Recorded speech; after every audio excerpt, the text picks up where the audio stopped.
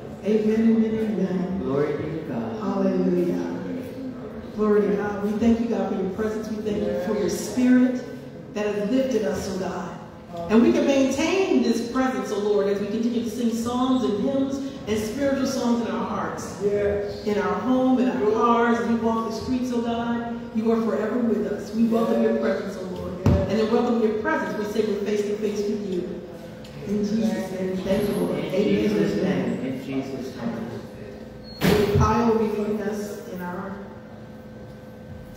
announcements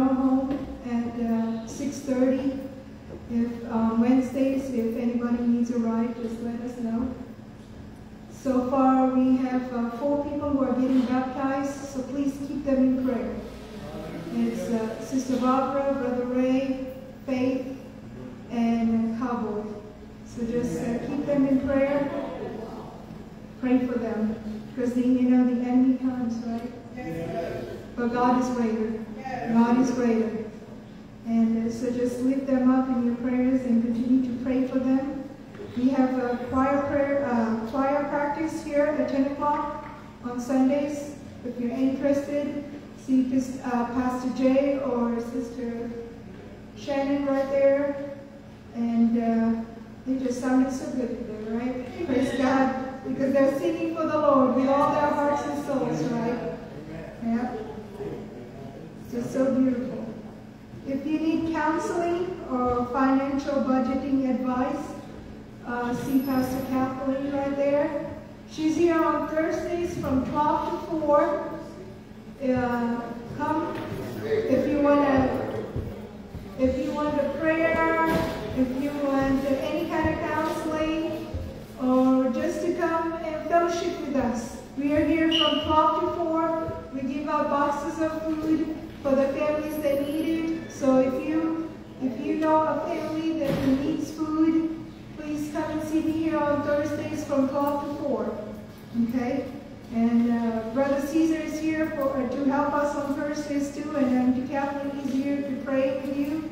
So, and uh, Sister Barbara is here. We all are here to help you and pray with you and encourage you. Amen. You know? So just come and join us here on Thursdays. Uh, continue to uh, pray for this city, for this county, for this country, for our leaders. Continue to pray for this ministry. At Bread of Life, at 431 Global Ministry, we need prayers. Okay? And uh, the, the mission has a new vision. And we are just praying for God, God's guidance in it. So we just want, if you want to pray with us and intercede with us, because we are thinking of the new generation. As you know, we have the little ones just walk in. You know, they're our future. You know, and God uses these little ones. And uh, What's going on with it? Hallelujah. Now, Father, the time has come. And just as we offered ourselves as a living sacrifice, we bring to you our offering to you right now. Hallelujah. That there may be need in your house. Lord. And I thank you today, Lord God, that every need is met today, Lord God. Hallelujah. Hallelujah. From the crown of their head to the sole of their feet.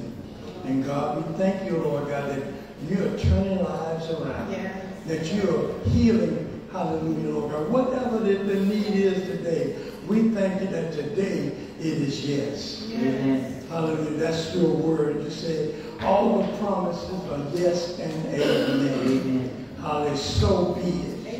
We thank you today, God. And we honor you for who you are. In Jesus' name. Hallelujah. Amen. Hallelujah. You may bring up your offering at this time if you'd like to give to the ministry of Bread of Life, if you'd like to give to the ministry, sorry, of 431 Global Ministry for the work of the ministry. This is one place that definitely does the work of the ministry. I have been here for all night prayer with them, and what I'm used to when it comes to all night prayer is that we are praying for 45 minutes, and we might share for 15 minutes, and we pray for 45 minutes, and we share for 15 minutes. But in this place, the doors were literally open from 2 in the afternoon to 2 in the next day on a Sunday for the sake of the community. It wasn't for me. It wasn't about me. The doors were open all night long. And I watched a family walk through here with an infant, a toddler, two teenagers, and a husband and a wife, 10 o'clock at night, and they came in for a, a meal. And they were here to serve a meal. We had a meal available. Amen. There are missions that are being contributed to and made ready and made provision for because of what we give here at 431 Global Ministries. Amen. So thank you for your contribution to the work of the kingdom of God. Amen. In the earth. Amen. Uh, when I selected this song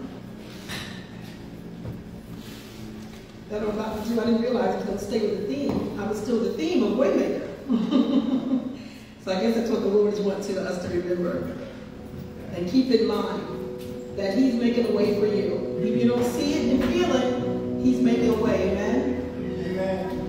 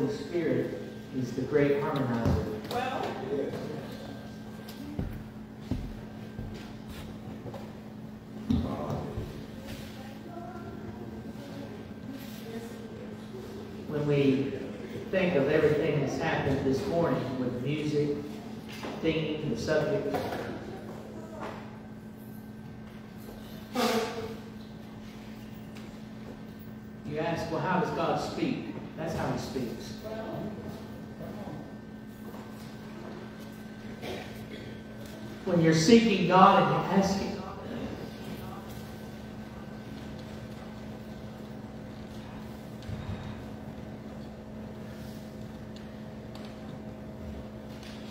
You're asking God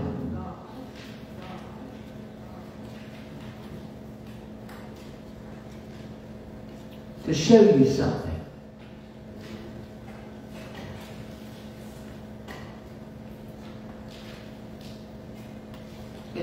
everything that the music coordinator has put together today, it's God saying, I'm going to make a way. Yes. Two songs was I'm going to make a way. I'm the way maker. If I could part the Red Sea and help three million people get across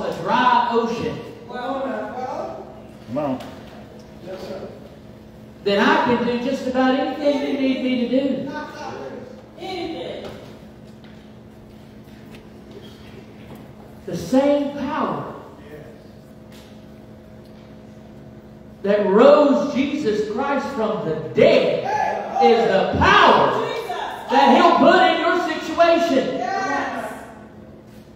Yes. Sir. Now that's not my message today. Lady Payal a few moments ago said that we're, we've been seeking God. We,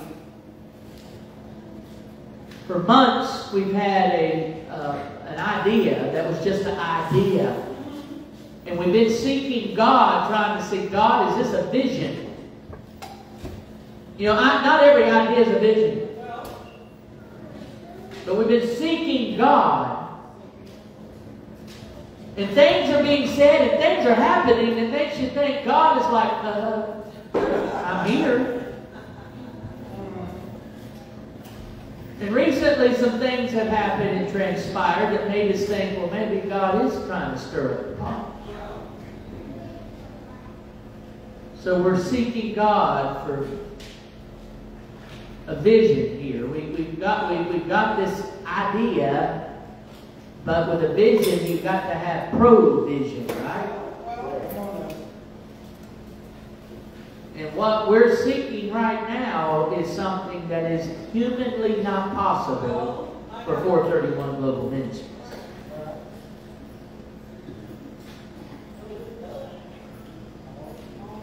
What George Mueller did at the end of the 1800s was not humanly possible either.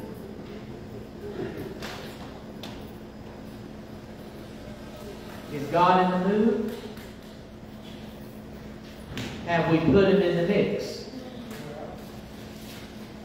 But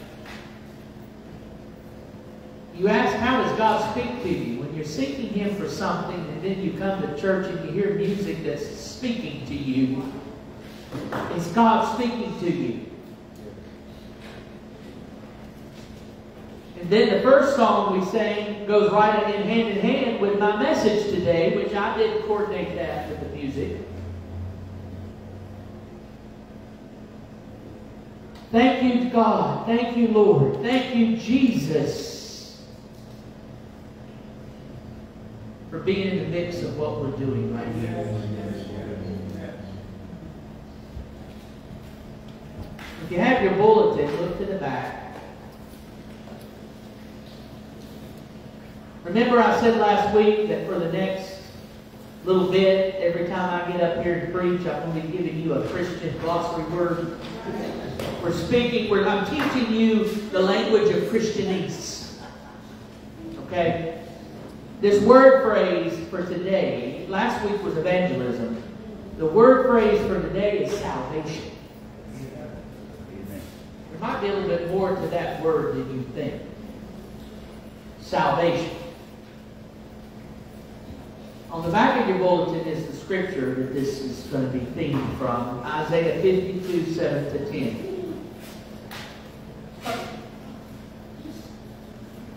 How beautiful upon the mountains are the feet of him who brings good news. We talked about what good news was last week, right? The gospel.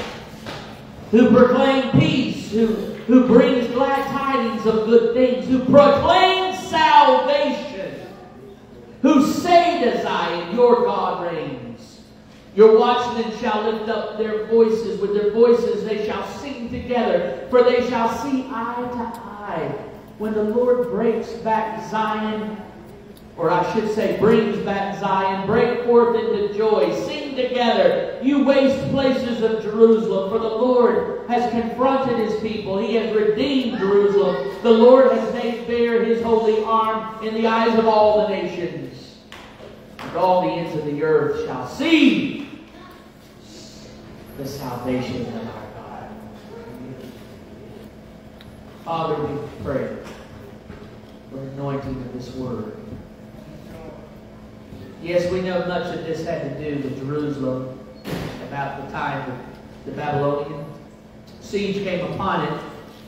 But there's something in here for us. We're praying, Father, that you'll be blessed, that you'll bless everyone who hears it. Feed us, Lord. Feed your sheep. In Jesus' name. Amen. Amen. I read the true story of a teenager who was on the driveway one day playing basketball. He lost one of his contact lenses. He was frustrated.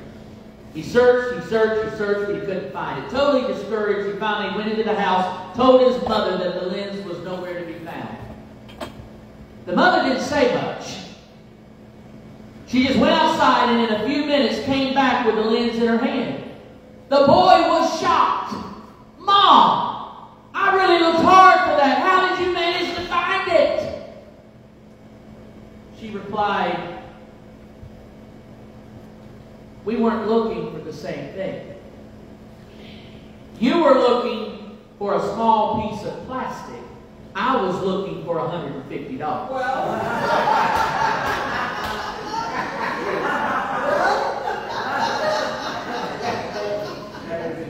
You see, the mother was looking for something she regarded extremely valuable. And because it was valuable, she didn't give up till she found it. Hear me out. Jesus came looking for something really valuable. Scripture says that he came to seek and save the lost. In fact, Jesus' very name means Savior. When the angel appeared to Joseph, he told Joseph in Matthew 121 that his wife Mary will bring forth a son, and you shall call his name Jesus, for he will save his people from their sins. The name Jesus means Savior. And that's the whole theme of the New Testament. Jesus came to seek and to save the lost. The New Testament is all about salvation through the blood of Jesus Christ. Now, this sermon series, I said, is, is, is, is really called uh, From the Christian Glossary Book, is what you could call it. We're learning the language of Christianese. We're, we're, we're, we're going over terms that are common but may not be fully understood.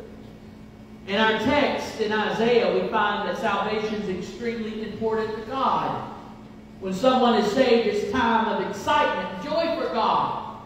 Notice what it said. We read it in verses 7 to 9. The feet of him who brings good news are beautiful, who proclaims peace, who brings glad tidings of good things who proclaims salvation, your watchmen shall lift up their voices. Listen to this. With their voices they shall sing together. For they shall see eye to eye. When the Lord brings back Zion, bring forth into joy. Sing together. Lord. Now this is good news. These are good tidings. The watchmen city shout for joy, it says. Our salvation, I'm trying to say here, is a big deal to God. Yes, yes, yes. But now, what are we being saved from? You know, when I prepare my sermons, I ask questions like that. And spitball for a, a while, throwing all kinds of thoughts in the mix, trying to find the best answers I can think of. And I could think of all kinds of things that God saves us from, that He saved me from. But I got to think, I wonder what does the Bible say? Now that's a good idea, don't you think? I mean, I'm a preacher, and this is about God's ideas rather than mine, right? Amen. So, what does the Bible say that we're saved from? Let's hear again the words of the angel that he said regarding Mary. Matthew 1:21. Bring forth the Son, you shall call his name Jesus, for he will save his people from their sins. John 1:29. We're told that John the Baptist saw Jesus coming toward him. He said, Look, the Lamb of God who takes away what? The sins of the world. Now that's what we're saved from. We're saved from our sins.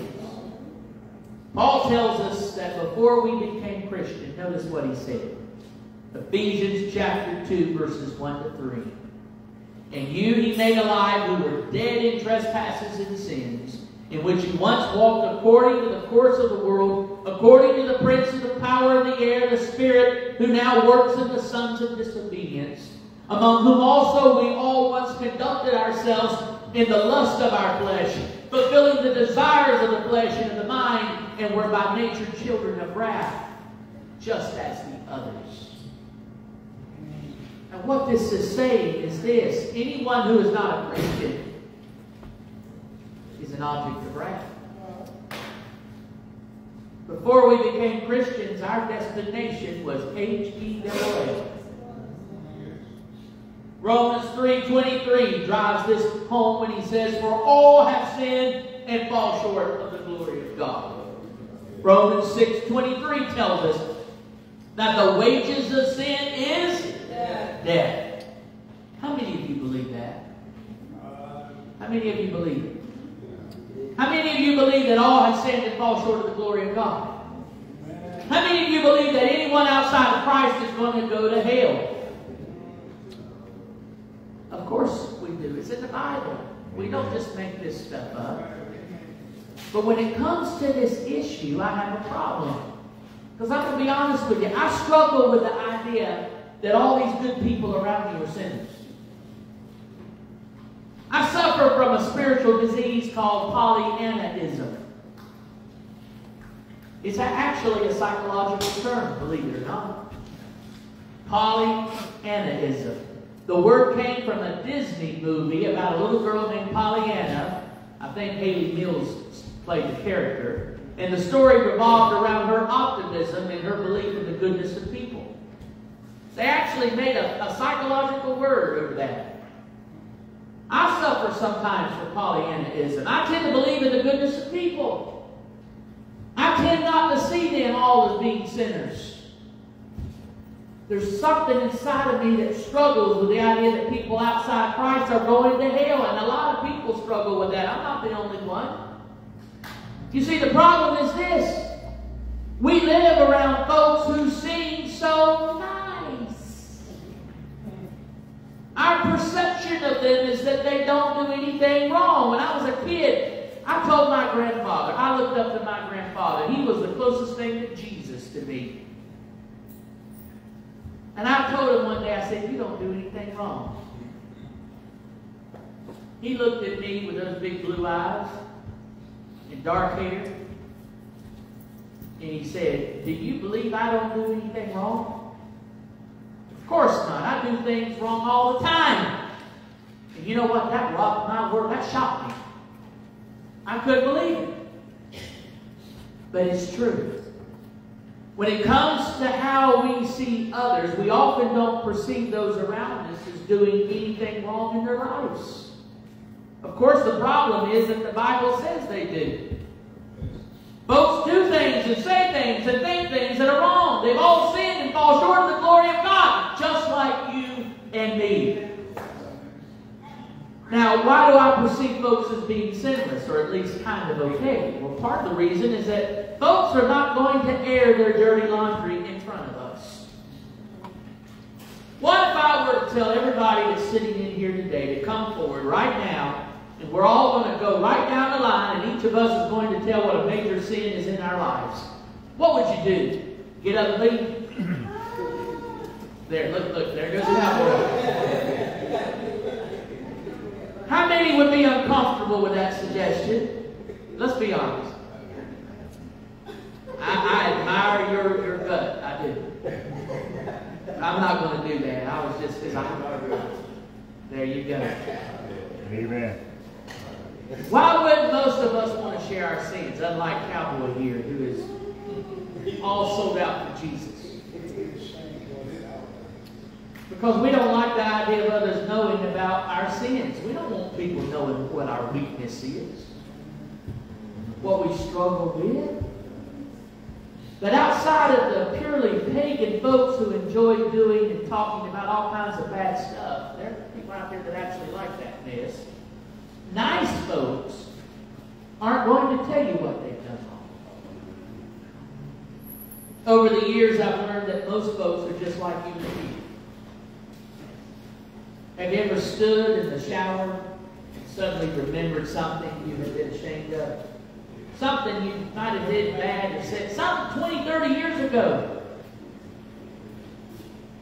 You get this sick feeling in your stomach. I still can't believe I said that or did that or thought that. A wave of shame and self-hatred swept over you like a flood. Have you ever had that happen to you? Of course you have. We all have. Robert Louis Stevenson wrote this. All of us have thoughts that would shame hell. We would actually shame hell. But now here's the problem. If you and I don't believe that, that other people suffer from guilt and self-hatred, then we're not going to tell people about Jesus. I mean, why should we? I mean, if someone is okay just the way they are, Jesus really didn't die for them. They're, they're, they're fine just the way they are. Because they don't need Jesus to save them from their sins. They're okay the, the, the way that they are.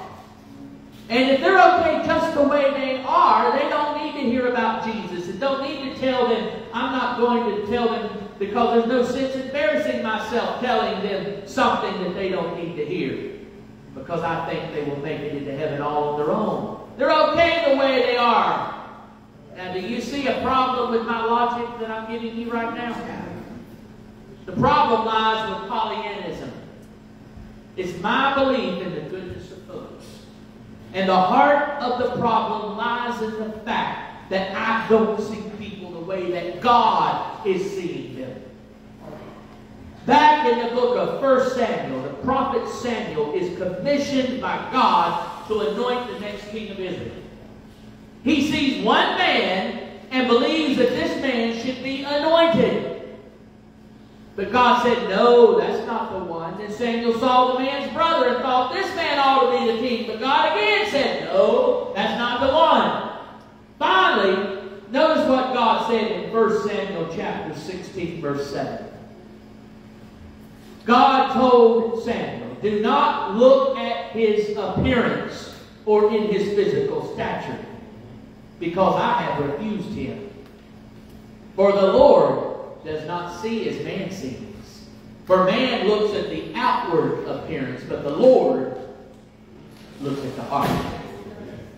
You see, I see people only on the outside. But God sees your heart. He sees my heart.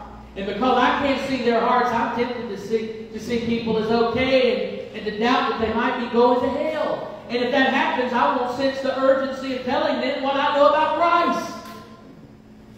And so they may very well go to hell because I didn't want to embarrass myself by telling them my faith. But here's the good news. You remember last week's message, I made the point. I don't have to convince people of their sin. That's the Holy Spirit's job. Jesus told us that the Spirit's job in John 16 and 8 is to convict the world of guilt with regard to sin and righteousness and judgment. I don't have to convict people. That's His job. The Spirit is the one who will make people feel their guilt shame so that they will want Jesus. But once the Spirit has done His part, once He makes folks so that they want Jesus, God wants me and you to be prepared to tell those folks about how to get what Jesus is offering. Did you catch the part in Isaiah 52 that we read? He said, How beautiful, Isaiah 52 7. How beautiful upon the mountains are the feet of him who brings the good news. Who proclaim peace, who bring glad tidings of good things, who proclaim salvation. That was such an important statement in the Bible. Guess what? God decided to repeat it in the New Testament. He did it through the Apostle Paul. Romans chapter 10, verses 14 to 15. Notice what was said here. How then shall they call on him in whom they have not believed? How shall they believe in him of whom they have not heard? And how shall they hear without a preacher? And how shall they preach unless they are sent? As it is written, how beautiful are the feet of those who preach the gospel of peace, who bring glad tidings of good things. Isaiah 52 is all about God saving mankind through Jesus Christ. And the chapter is filled with excitement and joy at the prospect of people coming to Christ. But God takes the time to praise you and me if we care enough to bring the good news to the lost. He even says that our feet are beautiful if you share Him with others. So the question is, do you care enough? If someone were to come to you and say, What do I have to do to be saved? What would you tell them? Or would you say, Pastor, your feet are more beautiful than mine? You tell them. Here's the deal. The person that came to you and asked you, they didn't ask me, they asked you. They didn't ask me. If you really love Jesus so much, if somebody asks you a question like that, you're ready to share something. Your passion and how you feel toward Jesus is going to impress them. They may not talk to me, but right now they're sitting there talking to you. So what would you tell the people if they ask, what must I do to be saved? Well, there are a couple of times in the Bible where somebody actually asked that question. In Acts chapter 2, for example, Peter preached to the Jews and he told them that they had crucified Jesus. Peter's sermon was so powerful. Notice what was said happened. Acts chapter 2, verse 37. Now, when they heard this, they were cut to the heart and said to Peter and the rest of the apostles, Men and brethren, what shall we do? What shall we do? Remember what Peter's answer was? Look at the next verse, Acts 2.38. Peter replied, Repent and let every one of you be baptized in the name of Jesus Christ for the remission of sins, and you shall receive the gift of the Holy Spirit. Now that seems simple enough, doesn't it? What must we do to be forgiven by God? Repent. And it said, be baptized in the name of Jesus Christ. You can't beat that for simplicity, can you? Can you remember that? Repent, be baptized. But now later on, in Acts, we find Paul and Silas were in prison. It was about midnight. Paul and Silas were praying and singing hymns to God. It says here in Acts chapter 16, verse 25, Suddenly there was a great earthquake, so that the foundations of the prison were shaken, and immediately all the doors were opened. Everyone's chains were loosed. Verse 27. The keeper of the prison, awaking from sleep and seeing the prison doors open, supposing the prisoners had fled, drew his sword and was about to kill himself. But call Paul called with a loud voice, saying, Do yourself no harm, for we are all here. Verse 29, Acts chapter 16. Then he called for a light, ran in, fell down trembling before Paul and Silas. He brought them out and said, Sirs, what must I do to be saved? Now, did, did, did Paul say, repent and be baptized? No. What did he say? Verse 31. They said, believe on the Lord Jesus Christ and you will be saved, you and your household. Whoa, whoa, whoa, wait a minute. That's not what Peter said at Pentecost. Why did Peter say, repent, and be baptized? But yet here Paul is saying, just believe in the Lord Jesus Christ. That's kind of odd, isn't it? Not the same thing. Why, why should there be a difference? You like to know the answer? Because the crowd at Pentecost already believed in Jesus. One scholar noted that the Jews at Pentecost were knowledgeable about God, sin, atonement, the coming Messiah, and his coming kingdom. In fact, the Jews gathered on Pentecost were probably far more knowledgeable about the God of the Bible than most mature Christians are today. But the Philippian jailer didn't know any of that. He didn't know anything about Jesus or the God of the Bible. Paul had to start with the basics. Because if this man didn't know Jesus, there was no sense in going any further. Without Jesus, this man could repent and get wet all day long, and it wouldn't have made any difference Notice what we're told next. Acts chapter 16, verse 32. It says, Then they spoke the word of the Lord to him. Listen to this. The children didn't get saved because of osmosis. He spoke the word of the Lord to him and to all who were in his house. And he took them the same hour of the night and washed their stripes, and immediately he and all his family were baptized. So did Paul and Silas baptize this man and his family? Yes. But not until after they had spoken the word of the Lord to him and the rest of his household. Then they were baptized. Now, how soon after these folks were taught were they baptized? Immediately. It was sometime after midnight. Notice they didn't wait till Sunday. They didn't call the church together to witness it. They didn't wait until more of the family could be there. They did it immediately. Why? Because there was a sense of urgency.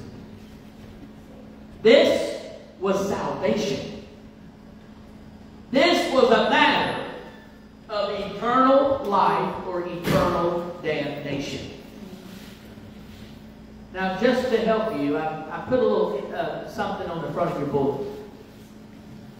Now, this is an interesting. If you look on the front of your bulletin, this is kind of a graph that gives you an overview of all that takes place when a person is saved.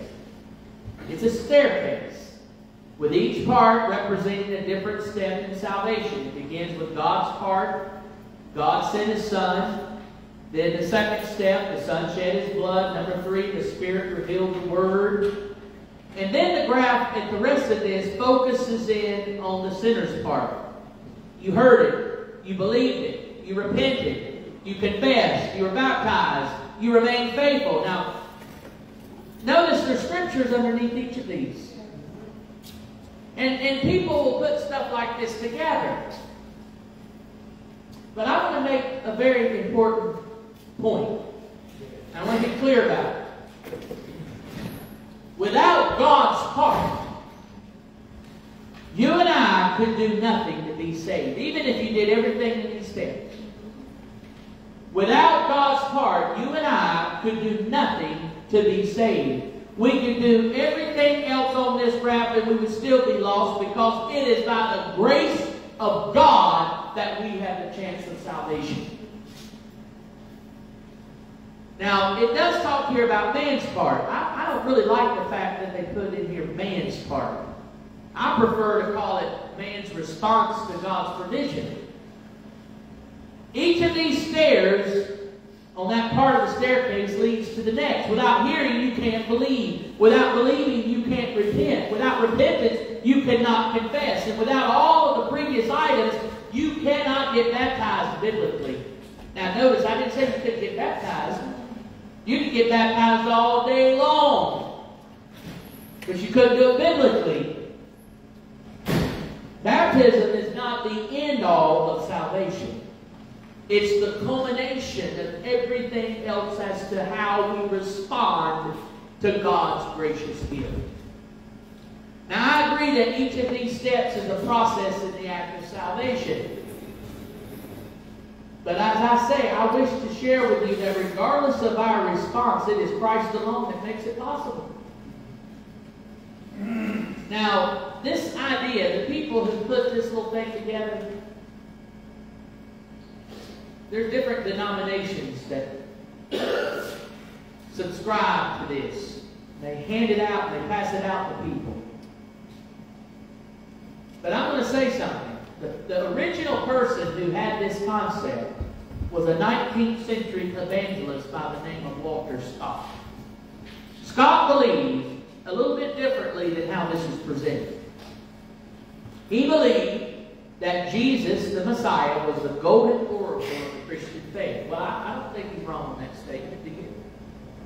Jesus was to be lifted up, and people were called to respond to him. Jesus, the Messiah, was the creed of Christianity.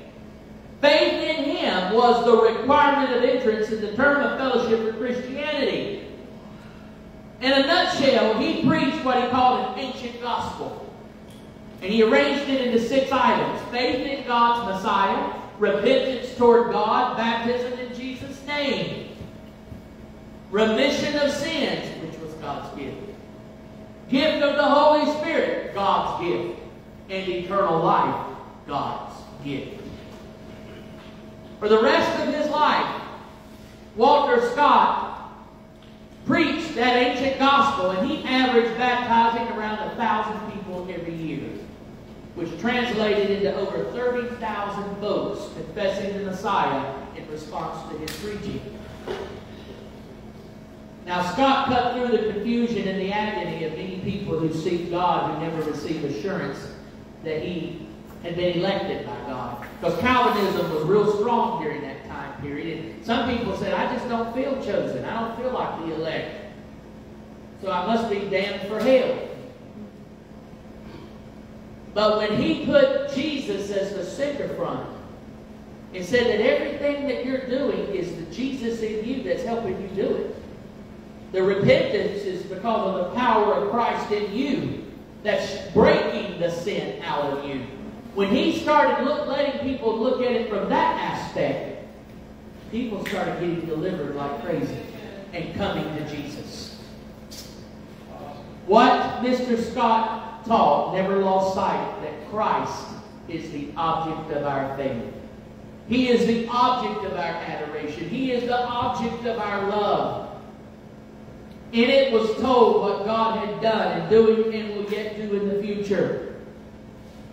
And we have responded in faith to that golden oracle. We repent of our sin to God. We in our faith are baptized in the name of Jesus. And as a result, God forgives. He remits our sin and grants the gift of himself in the person of the Holy Spirit into our lives. With the assurance that we're saved. And then, if we ask for it, the gifts of the Holy Spirit. And then God seals us for eternity. But unfortunately, as I said, many took Scott's ancient gospel model and made it more of a legalistic endeavor on how to be saved. The simple answer to the question, what must I do to be saved? I agree with everything on here. I agree that everything on here is what happens. But is this a, a do all this to give you assurance? I know I'm saved because I did everything from the mistakes. No. The simple answer to the question, what must I do to be saved, is this. Respond to Christ's invitation and let Him transform you. That's the simple answer. Now that's kind of simple too, isn't it? You don't have to be a PhD or Bible college graduate to understand that. All you need to do is be ready when God sends someone your way. But when God does send someone your way, you need to realize the urgency of the task and the value that God places on your faithfulness matter. There was a man named John Mays. He wrote something that happened in his life. He said, I was on my honeymoon in the Bahamas when a man walked up to me and he said, Would you like to buy some cocaine? You can tell everyone how much you really enjoyed the Bahamas if you buy what I got. After he said, I said no, and I got over the shock of that man's boldness, I wondered how Jesus would have responded if someone came up to him selling drugs. Later that day, someone else came up to me selling drugs, he said, and that, and that gave me another chance to share Jesus with them in the most creative way. After he told me what he had, he had the good stuff. I asked him, What have you got? He said, Cocaine. I looked at that man, he said, and this is what I asked him. I said, Is that all you have? I'm disappointed. I was hoping you would have something better than that. You see, I got the real thing. I got the real stuff. What I have is all natural, pure, and very powerful.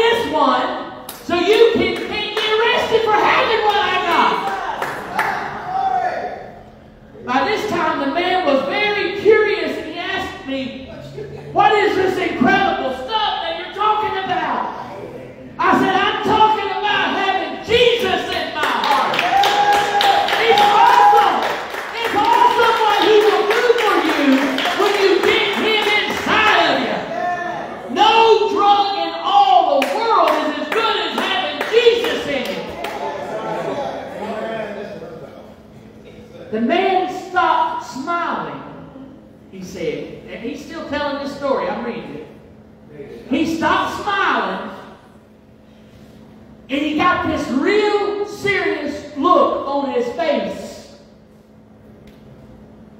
He said, I want what you have. How do I get it? Now, this man was on his honeymoon.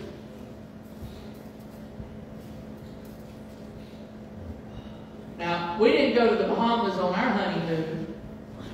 But I imagine here I am a preacher, I'm going on my honeymoon, and now somebody's asking me what must I do to get saved. I got a good, God-fearing woman who's going to be just as excited as him. But now he's going to start preaching. And he's supposed to be on his honeymoon. But notice what happened. In the very beginning of that day, he got shocked by what he, he encountered. But after he got over the shockness, he realized, I could have used that as an opportunity to make a witness. And do you know God gave him another opportunity? You know what happened to that man? He accepted Christ. That man accepted Christ because our brother had this creative way to throw back at what that man was trying to offer him. You see, our brother was prepared to tell the man about Jesus. And he succeeded because he was committed to making sure that man would have a chance of eternal life. I don't know if you realize it, brothers and sisters, but every single one of you has been commissioned by the Master to go and make disciples. It's not just a preacher thing. I'm here to encourage you, to incite you, and to give you what I can give you to help you in your commission. We all have the same commission. We're told, let your light shine. You've got a light in you, you better let it shine, Jesus said.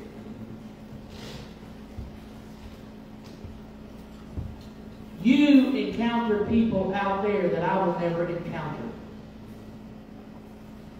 You're allowed to go places that I'm not allowed to go. And if you really love the people you're hanging out with and the people that you're around, if you really love them,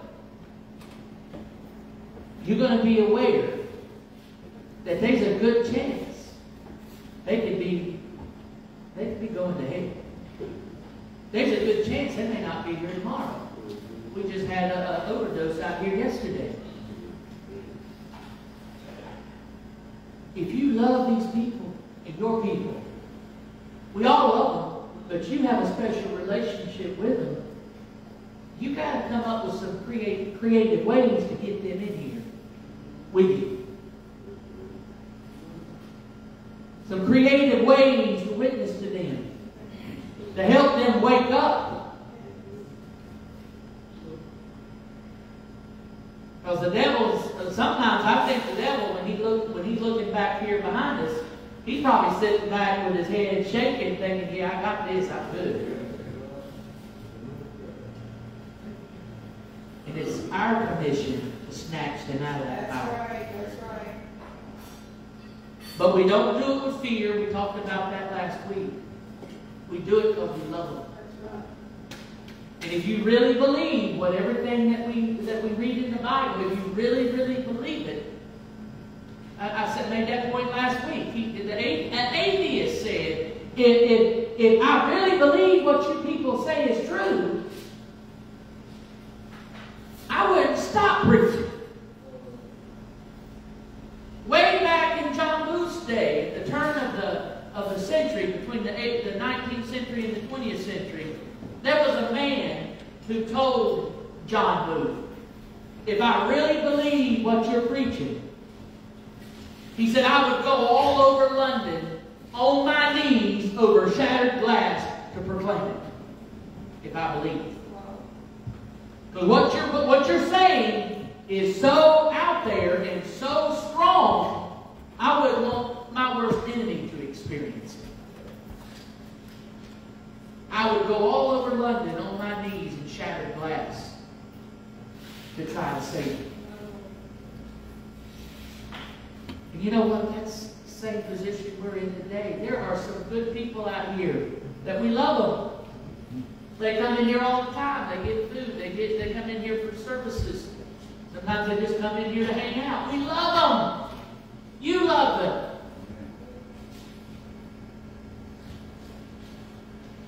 But do we really believe what we've been taught from here? If we really, really believe it, our feet are going to be the prettiest thing that can be looked at. Isaiah said, How beautiful are the feet of those who shed the good news. We're going to be out there sharing. And it's not bad news, it's good news. Because we're not going to go out there and say, You're on your way to hell. We're going to go out there and say, You know what? Jesus loves you so much. He's just waiting for you come out of it. He's already extended his hand to you. You just got to grab it and go with it. Let go. And it's not your works of you getting rid of the sin. It's Him in you that's purging it out. It is His righteousness that comes on you. And that is the grace of God. The amazing grace of God. The man who wrote that song, the lyrics of that song, was a slave trader. And you know, the man who wrote the music to it was a former slave. And the two of them got together and wrote one of the greatest songs in our hymnal. Amazing grace. Amen. It was the grace of God that would put a slave owner and a slave together to make one of the most profound Christian songs of our day. That's a the, the, the song in itself is amazing grace. And it's amazing grace to each and every one of us.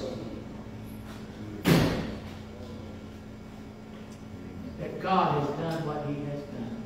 Amen. And that He's doing what He's doing.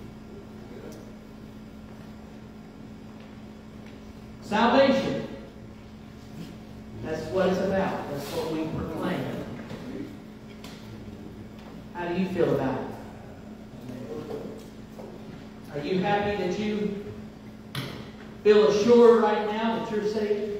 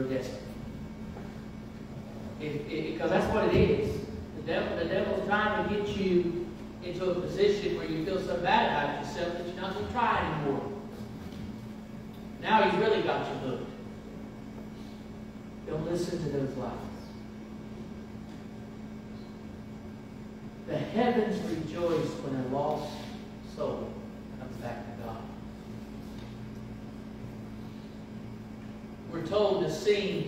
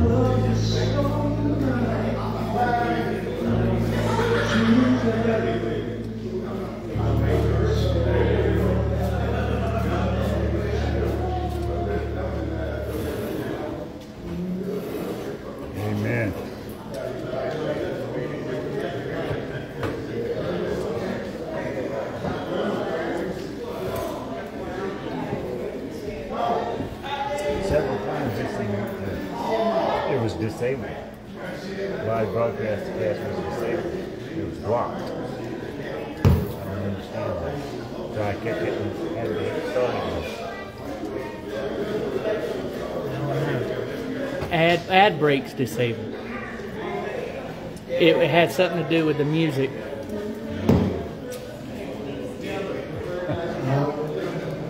The video contains music, audio, or video that may belong to someone else.